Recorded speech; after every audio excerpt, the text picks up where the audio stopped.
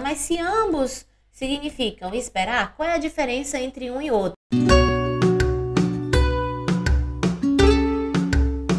A palavra aspeta é o verbo aspetare. Espera é o verbo esperare.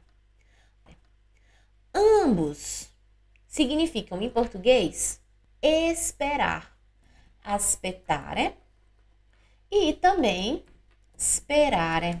Qual é a diferença entre um e outro? Aspetare significa esperar no tempo, certo? Eu marquei um horário, eu estou esperando que você chegue aqui. Nesse sentido, esperando, dedicando tempo para aguardar algo que vai acontecer.